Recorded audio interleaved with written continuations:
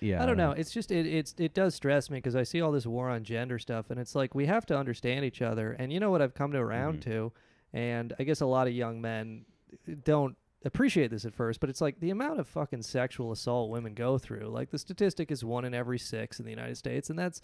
You know, I used to not believe that, but honestly, it's probably an underestimate.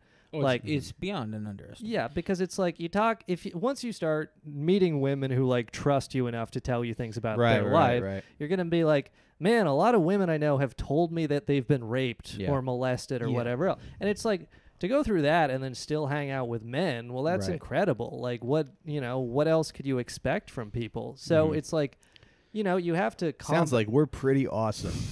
We might rape them, but they're still marrying us. So, are are you saying that dudes rock, Sean? Is that what you're getting at? yeah, yeah, exactly that. It's like that's just how much better men are.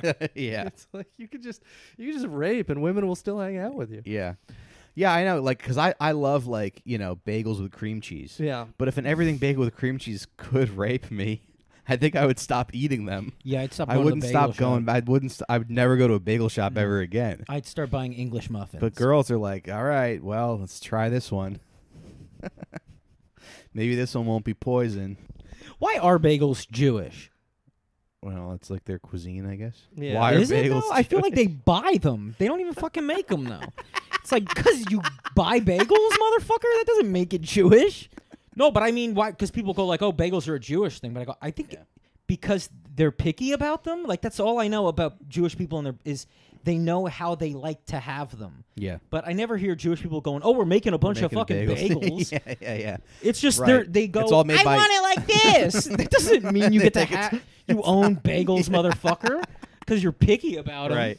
It's all made by like Ecuadorians. Yeah, because you get lox on them. You Yeah. think that means what is that even? you own the cuisine. yeah, it doesn't make Yeah. any sense. Yeah. Bagels are for everybody, Right. and that's what they need to realize is that everything is for everybody. You don't get to just have the things. Mhm. You didn't invent comedy. Mhm. You don't own bagels.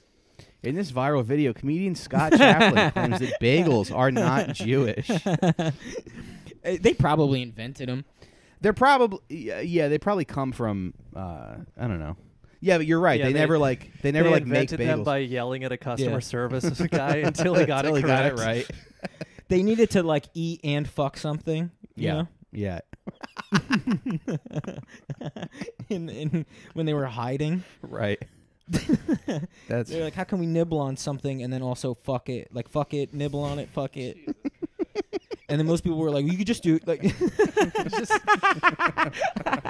in like 1940s Europe when they were all living in attics and you had to like economize space, so you needed something that you could eat and Yeah, fuck that wouldn't make too much fuck. noise. No, because fucking a bagel, you make just the right amount of noise so the Nazis don't hear you.